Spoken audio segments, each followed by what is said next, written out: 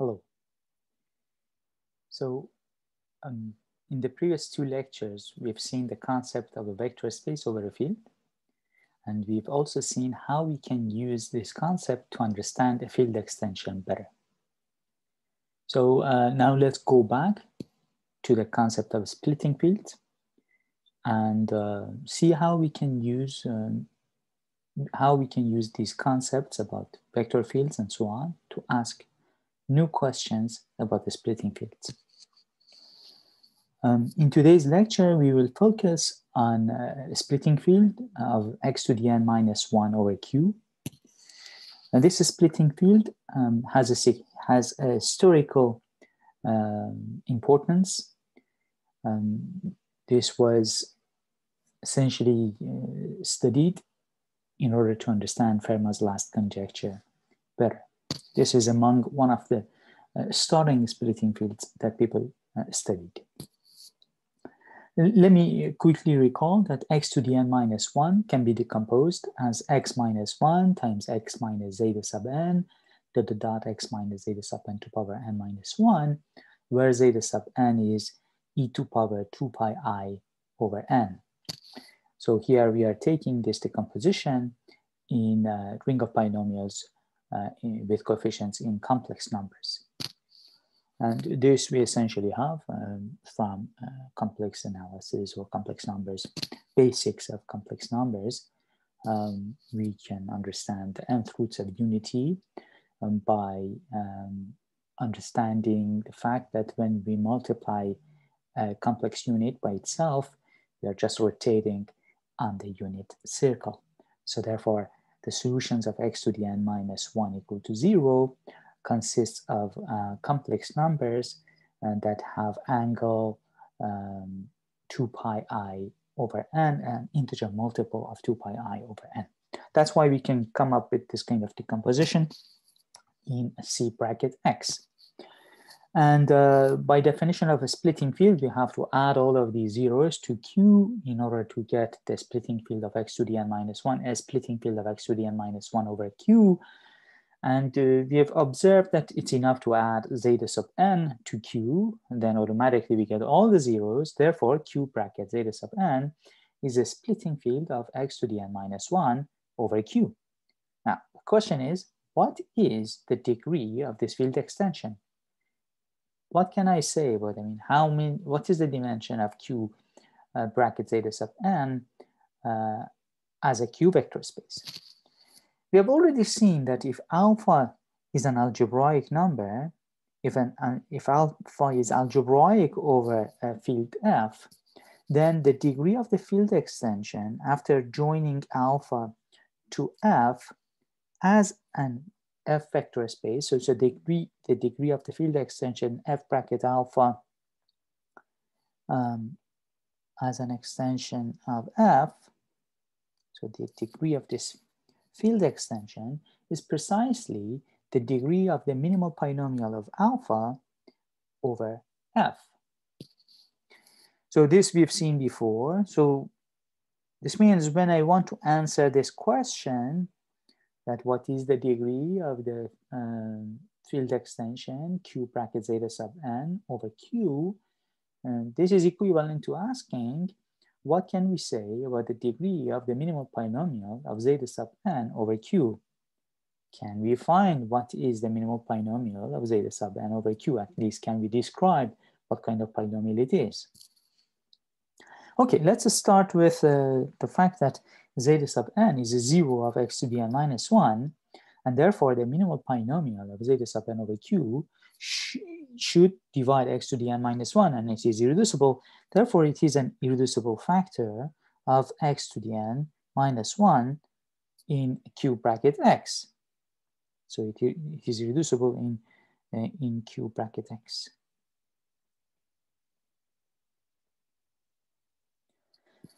Now, by the fact that x to the n minus 1 can be decomposed completely um, uh, in linear factors in complex numbers and all the roots are powers of zeta sub n, we can deduce that all the zeros of the minimal polynomial of zeta sub n are also certain powers of zeta sub n.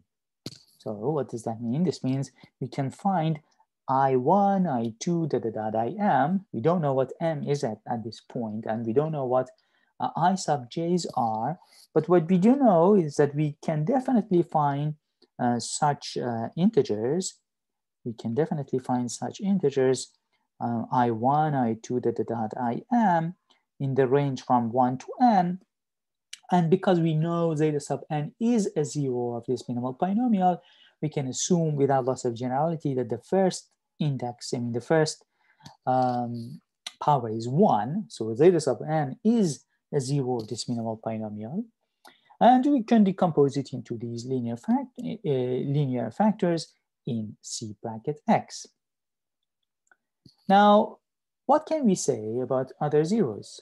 So that's the kind of information we need in order to understand the minimal polynomial of zeta sub n over q. Uh, in order to understand this, we are going to recall a, a, result that we've seen before. So remember, if alpha and alpha prime are zeros of an irreducible polynomial, then we can definitely find an uh, F isomorphism, that means an F linear map that sends alpha to alpha prime. So this is this we did in uh, kind of two steps. First, using evaluation map, identifying f bracket alpha as a quotient of f bracket x by its minimal polynomial, and then um, doing the same for alpha prime. So that way we get an isomorphism between f bracket alpha and f bracket alpha prime and send alpha to alpha prime. And these maps um, send f to f like identity, and therefore it's an f isomorphism. So having this in mind, we are going to apply this to, uh, to the minimal polynomial of zeta sub n. That means I can definitely send zeta sub n to zeta sub n to power i sub j. And in fact, there exists an q isomorphism from q bracket zeta sub n to q bracket this other root of the minimal polynomial that sends zeta sub n to this other root.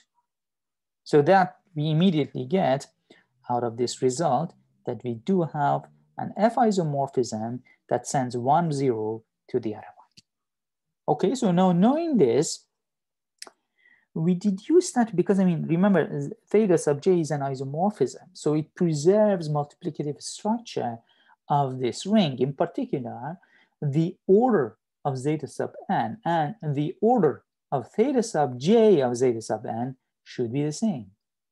So again, let me repeat. So because a theta sub j is, an, is a ring isomorphism, we can get that order, the multiplicative order of zeta sub n, and the multiplicative order of the image of zeta sub n under this ring isomorphism should be the same.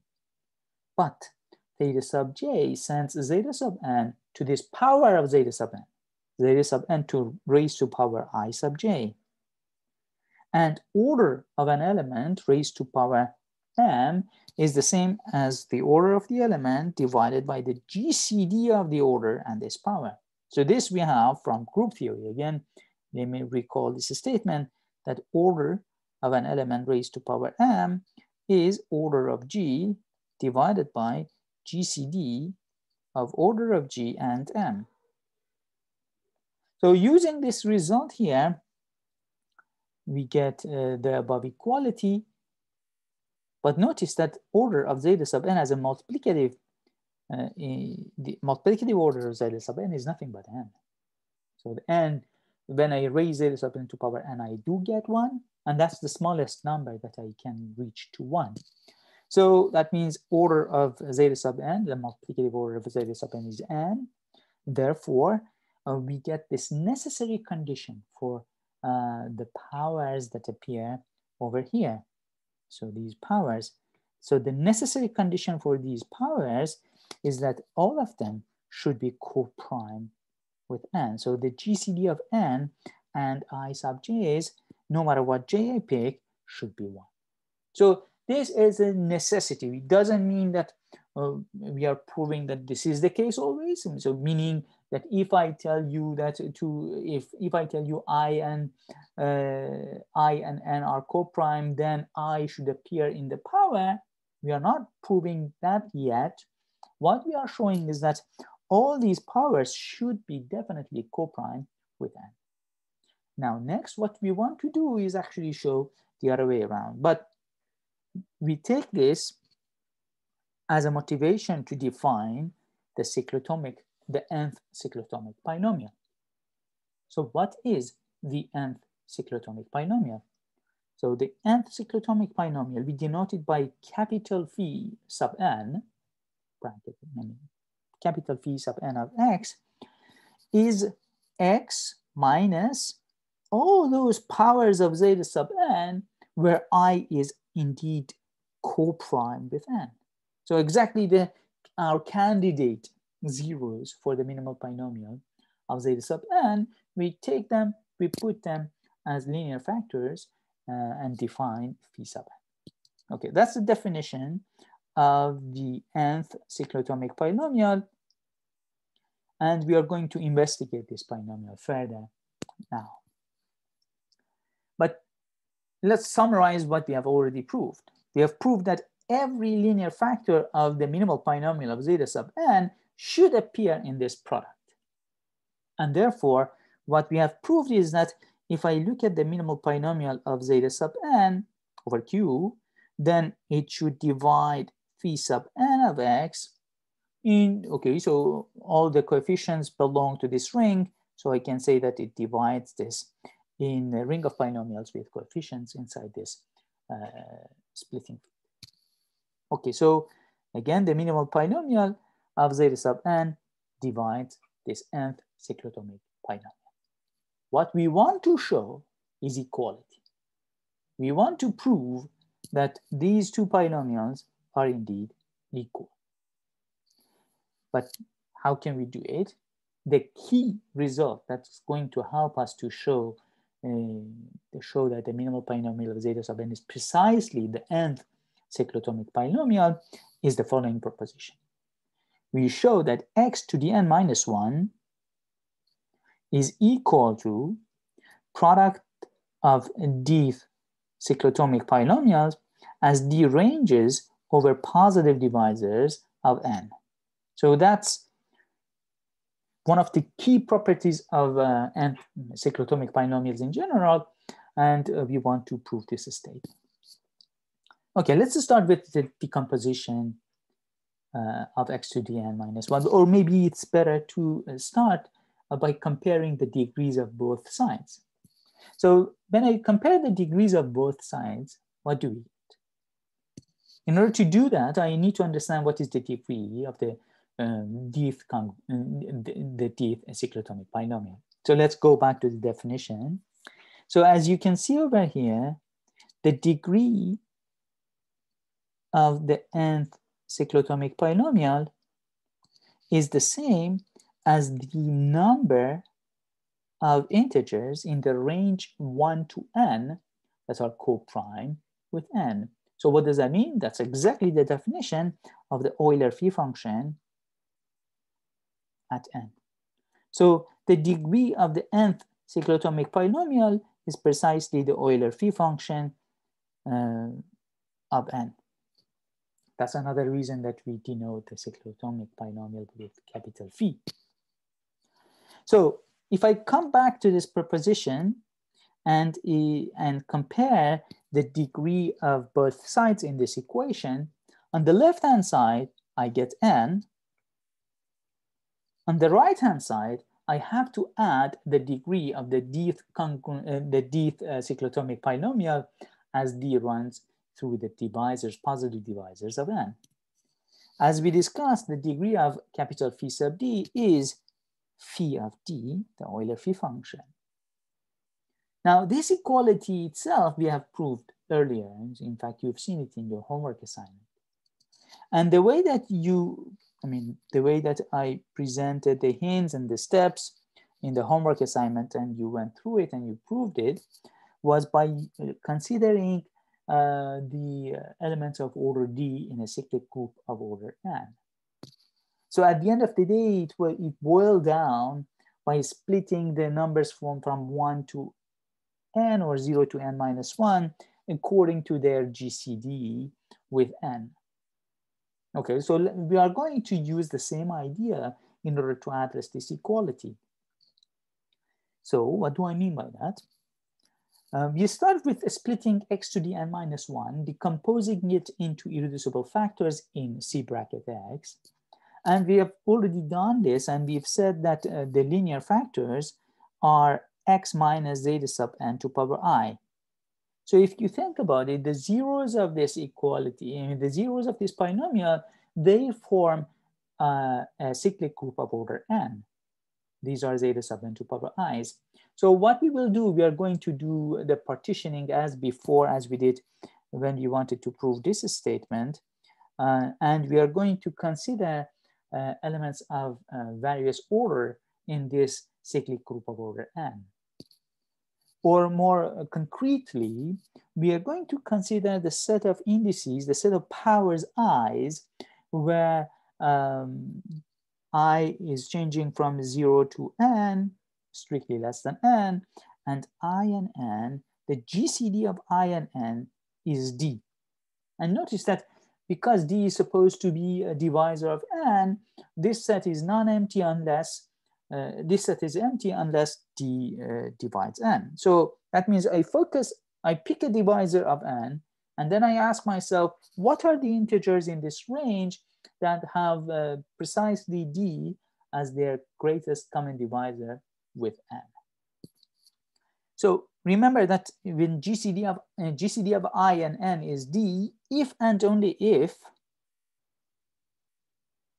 GCD of i over d and n over d is 1. Now, if I call i over d j, then j is an integer in this range, and the GCD of j and n over d is 1. So I can reparameterize this set, set O sub d, as multiples of d, where j, this d times j, where j, this parameter j, is ranging from 0 to n over d, strictly less than n over d, and j and n over d are coprime. Now, this is a partitioning of the integers from 0 to n. I can use this partitioning and partition the terms of this multiplication. And therefore, x to the n minus 1 can be written. So I first pick a positive divisor of n, then I consider all the integers i that are coming from O sub d and the linear factor corresponding to this i. I'm going to multiply them first and then let d vary. So essentially I'm looking at these factors, I'm reordering, regrouping my multiplication First, pick d, a positive divisor of n, and then consider all the integers in this range that have GCD with n equals to d. That's a partitioning of this interval, and therefore we get this equality. So now let's focus on this uh, inner product, the product inside in this parentheses. So when I focus on that, by this discussion that we have over here, with this discussion, I can reparameterize the elements of O sub d and consider them as multiples of d, d times j, where j is in this range and j is coprime with n over d. Okay, so now what is zeta sub n to power dj? Zeta sub n, what was it zeta sub n? Zeta sub n itself is e to power 2 pi over n. This guy raised to power d is, you see, d goes in the numerator, I can put it in the denominator and remember that n is a multiple of d. So n over d is an integer. So I'm getting e to power 2 pi i divided by this integer n over d. This is what we denoted by zeta of n over d. So going back to this uh, multiplication that we had over here, this inner multiplication. So going back to this uh, inner multiplication, we get that I can replace this guy with zeta of n over d to power j. Okay, so let's see what we get. So I'm going to replace um, zeta sub n to power dj by zeta of n over d to power j. Now, j is running, ranging from non-negative integers that are strictly less than over d, and they are co-prime with n over d. That's exactly the definition of the cyclotomic, the n over d cyclotomic polynomial. So I'm looking at the n over d roots of unity that have order precisely equal to n over d. That's a definition of this guy. Again, let's let's recall that C uh, phi sub m of x is the product of zeta of x minus zeta sub m to power i as i ranges from 0 to strictly less than m, and GCD of i and m is supposed to be 1. So by this definition, I mean, that's the definition of the mth cyclotomic polynomial, when we plug in n over d, we get exactly this. And that means that we have this equality. Okay. Now, now that we have this, we put it back in this inner product that we have over here, this guy. And what do we get? We end up getting that x to the n minus 1 is product of n over d cyclotomic polynomial as d ranges over all the positive integer, positive divisors of n.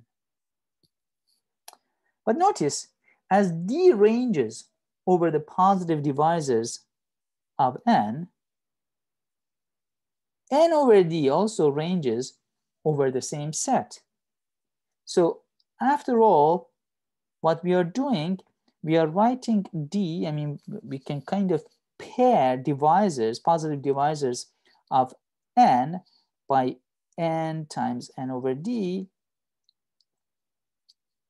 So we are pairing the divisors of n by looking at this.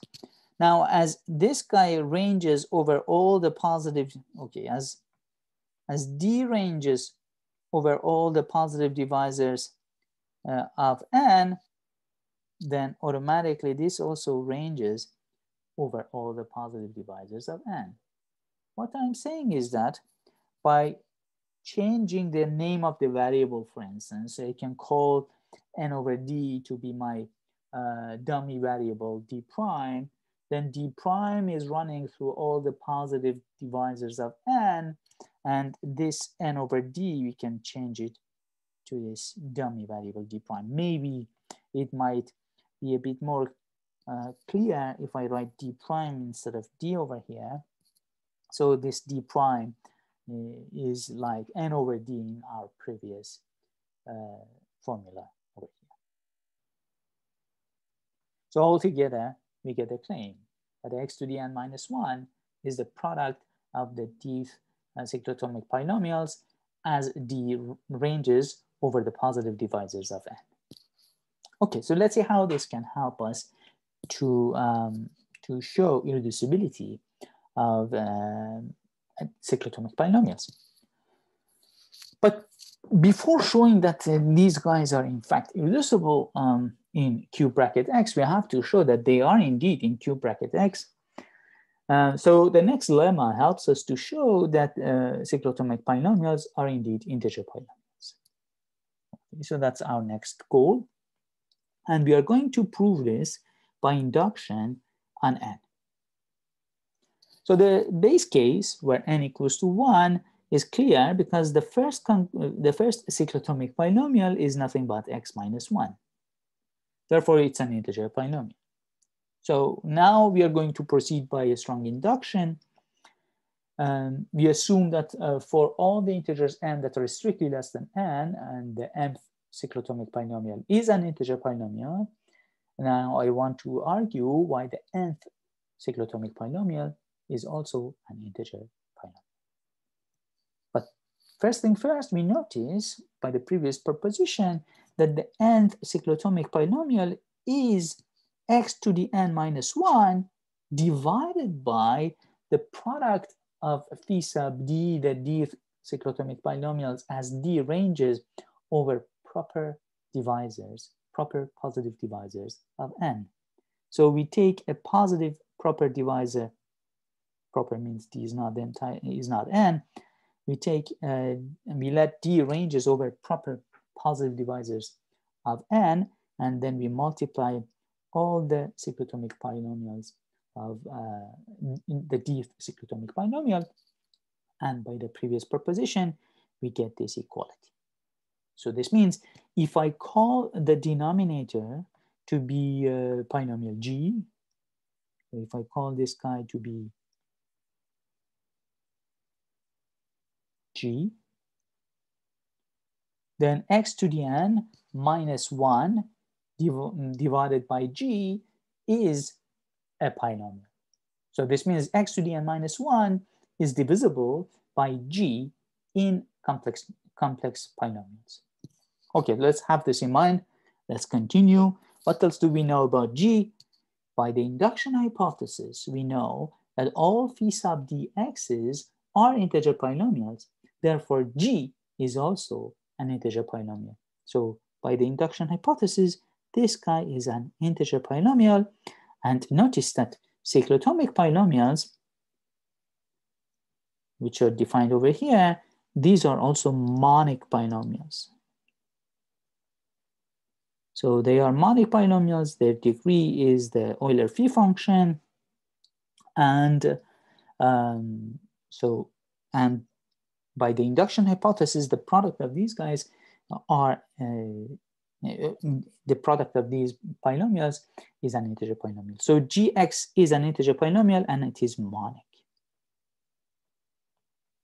Therefore, actually, I can define x to the n minus 1 by g in z bracket x. I can divide and then I get a quotient and a remainder.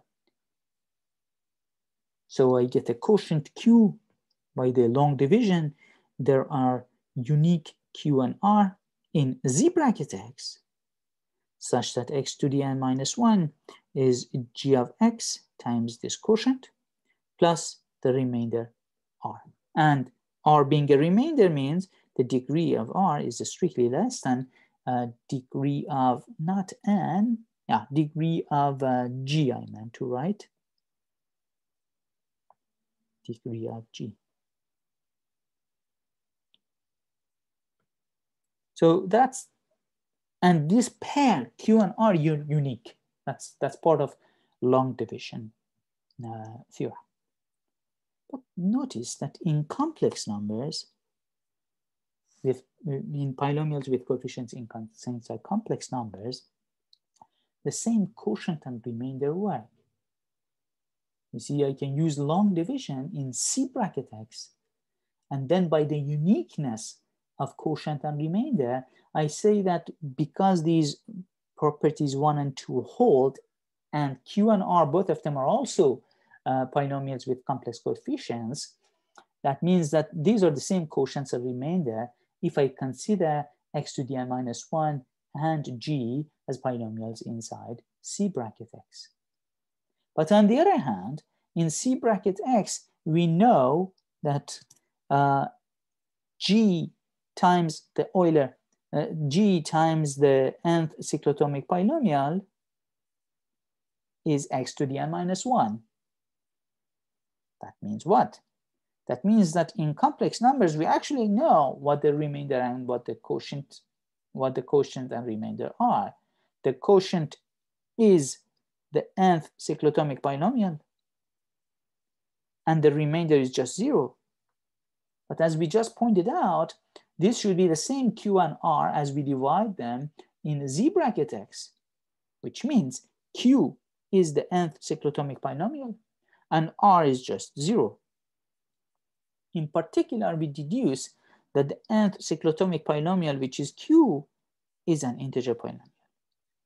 And that's exactly what we wanted to show. Okay, so starting with these uh, uh, elements of order D, we deduce that um, when we multiply x minus uh, elements of order D, we end up getting a polynomial that has integer coefficients. Now, next we get to the main theorem of today's lecture, that the nth cyclotomic polynomial, or in general cyclotomic polynomials, are irreducible in Q bracket X. So that's the main theorem that we wanted to prove, that we want to prove in today's lecture. So the nth cyclotomic polynomial is irreducible in Q bracket X. The underlying idea in the proof is the same as before. We go from Q to Z and we kind of go from Z to Z sub P.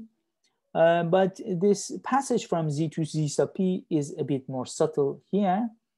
Um, after you gain more uh, understanding of uh, finite fields, uh, the magic of the proof, in the presented proof, uh, will be a bit less you you understand why we should do what we are doing. Uh, but admittedly, as I present today's lecture, some parts of the proof um, might seem a bit magical in the sense that uh, I will not explain completely why we are thinking about uh, certain ideas in the proof, uh, and I just present the, the proof to you. Okay, so uh, I, I explain a bit more when I get to that point. But let's start with uh, the more conceptual part of it. So, so we assume to the contrary that it is reducible. This part is quite similar to what uh, what other I mean the other kind of proofs that we had for irreducibility. So we often assume that something is not irreducible, and then we decompose it as a product of two polynomials with with rational coefficients we use Gauss's lemma and take the primitive forms of G and H. And we notice that phi sub n itself is an integer polynomial and it is monic, therefore it is primitive. Therefore, when I apply, when I consider uh, primitive forms of both sides and use the fact that uh, prim is a multiplicative function, the primitive form of the left-hand side is still phi sub n, but the primitive form of the right-hand side, we just said that it's, it's going to be g bar times h bar. So that means uh, we can in fact decompose phi sub n uh, into product of non-constant polynomials uh, in z brackets. So that can help us to go from q to z. This part was almost identical to other uh, results that we proved about um, irreducibility of polynomials. Now, now here is the, where the more magical part of the argument uh, appear. So I will present the idea first. I mean the, the the exact proof first, not the idea. I, I will present the exact proof first, and then at the end, uh, I will explain a bit more of why, um, why we are doing this, um, why we are approaching it like this. Okay, so suppose uh, zeta is a zero of uh, G bar. Okay, so we know that every zero of uh, the nth cyclotomic polynomial uh, has multiplicative order n. So in particular, the zeta, that's, that's the zero of G bar, has multiplicative order n. Okay, that's, that's uh, an observation. Now, if I give you a prime number p, no matter what it is, when I give you a prime number p, if this p doesn't divide n, then when I raise zeta to power, raise it to power p, the multiplicative order doesn't change because p and n are co-prime the multiplicative order of zeta to power p is the same as the multiplicative order of zeta. So that means it is zeta to power p is also a zero of the nth cyclotomic polynomial. Remember, the nth cyclotomic polynomial uh, is the product of x minus all the um, all the nth roots of unity that have that have order multiplicative order equal to n. So because the nth cyclotomic polynomial is the product of g bar and h bar, and zeta to power p is a zero of phi sub n, either zeta to power p is a zero of g bar, or it's a zero of h bar. Now, our claim is that it's definitely still a zero of g bar. So this means when I start with a zero of g bar, when I raise it to some power p, where p is a prime number that doesn't depend, and that doesn't divide n, so still I will be in among the zeros of g bar. So then I'm going to raise it again and again over different primes, and then we should get to all the zeros of phi sub n, and then we get a contradiction. That's the outline of the proof. Okay, let's see how the proof, uh, the how we can prove the claim. So again, what is the claim? If zeta is a zero of g bar, p is a prime number that doesn't divide n, then zeta to power p is also a zero of g bar. Suppose to the contrary that this is not the case. So we are assuming that uh, zeta to power p is not a zero of g bar. With this argument that we had over here, and noticing that zeta to power p is definitely eh, either a zero of g bar or h bar, we deduce that it should be a zero of h bar, which means zeta itself is a zero of h bar of x to the p. Therefore, the minimal polynomial of zeta over q should divide both g bar and h bar of x to the p.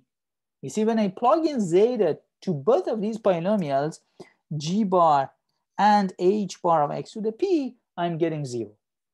Therefore, the minimal polynomial of zeta should divide both of these polynomials in q bracket x. So by taking the, by looking at the primitive form of this polynomial and called, calling that primitive form q, I get a non-constant common divisor for the polynomials g bar and, and h bar of x to the p. So now, so far, we found a common uh, divisor for g bar and h bar of x to power p. Now, here it comes um, the mod p uh, usage. So we are going now from z to z mod p. Because q is a common divisor of these two polynomials in z bracket x, when I look at it mod p, I get a common divisor of g bar mod p and h bar of x to the p, again mod p. Okay, so Cp of uh, q is a common divisor of C, Cp of uh, g bar x and C uh, and h bar of x to the p um, mod p. Okay. And now um,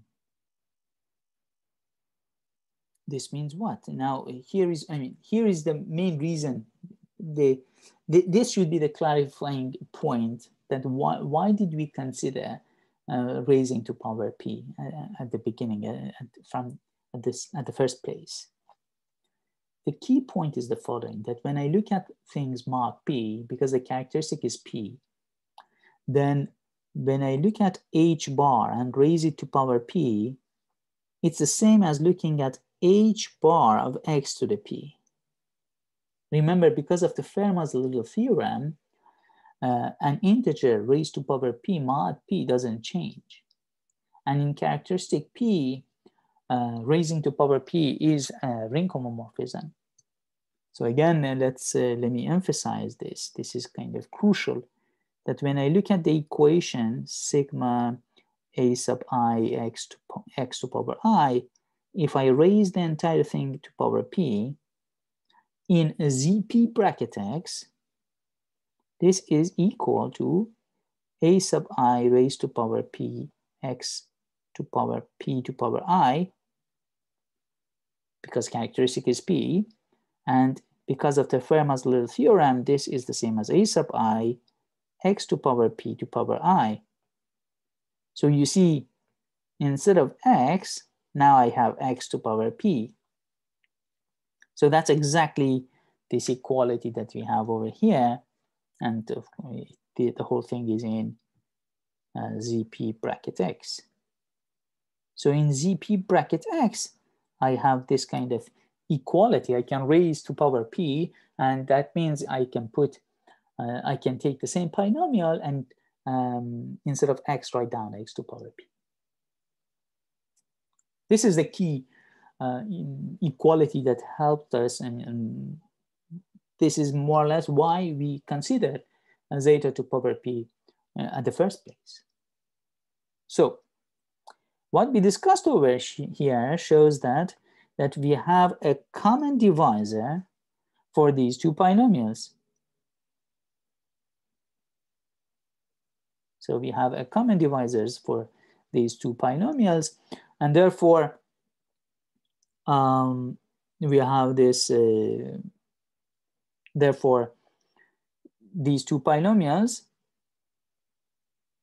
g bar and h bar mod p raised to power p. Now they have a common divisor.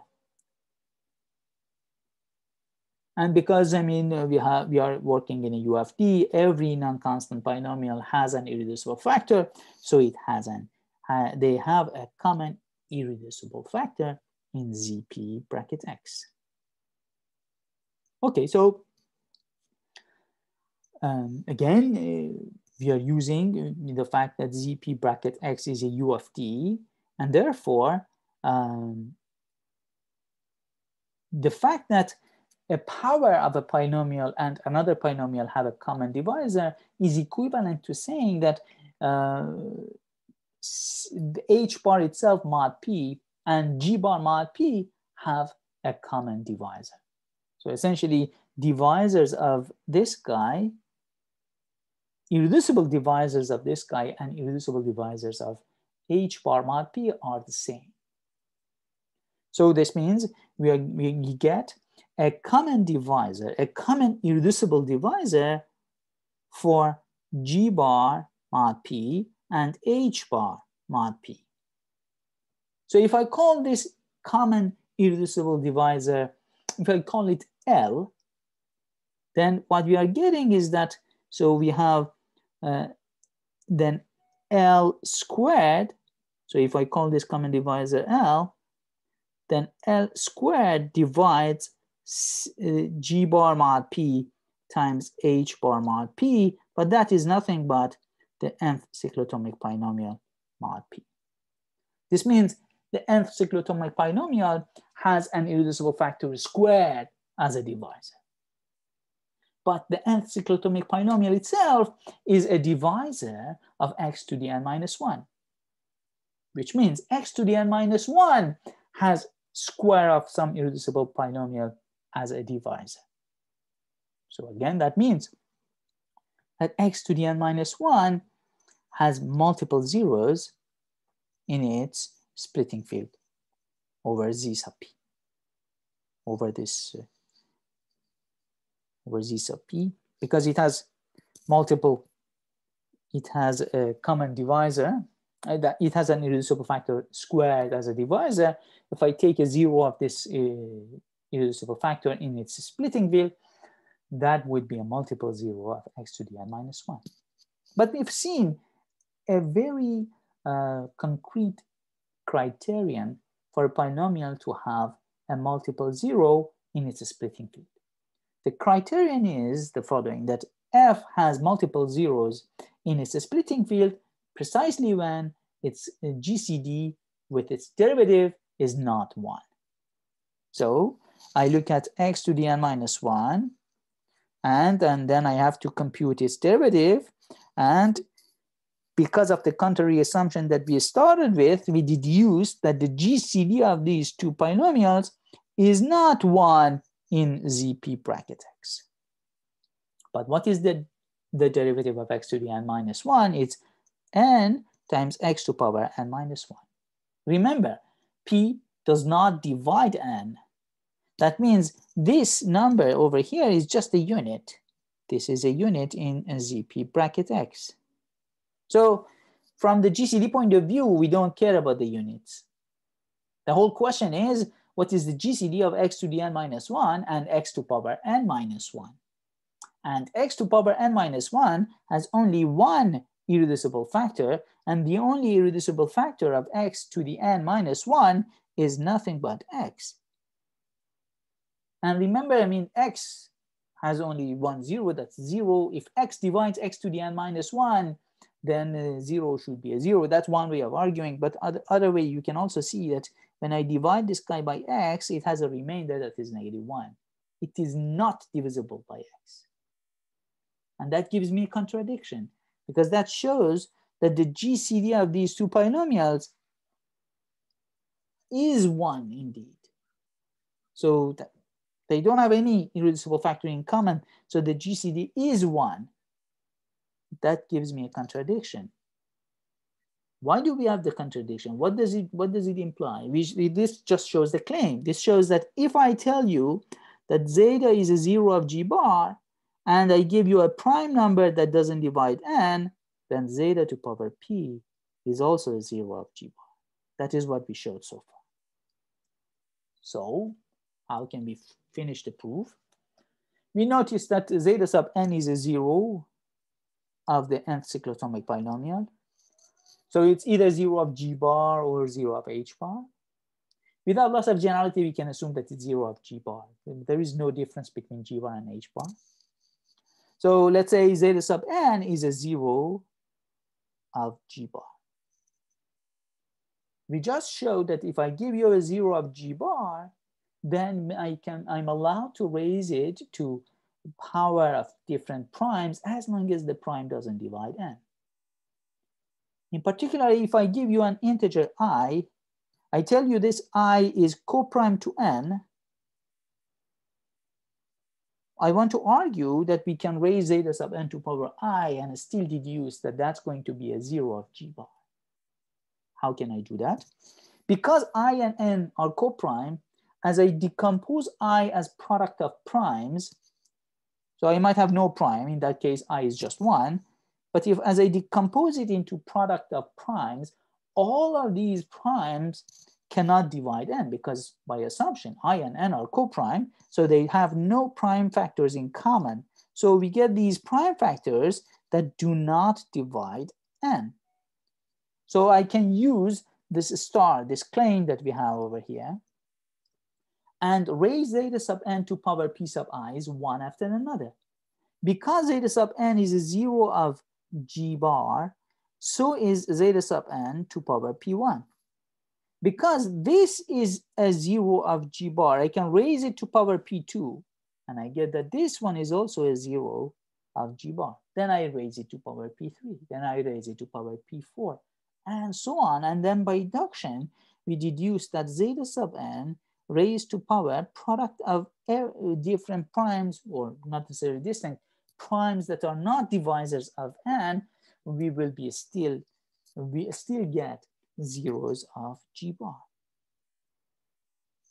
But that means what? That means zeta sub n raised to power i, as long as i and n are co-prime, is still a zero of g bar. But every single zero of phi n is of this form. That means phi sub n, the nth cyclotomic polynomial, should be a divisor of g bar.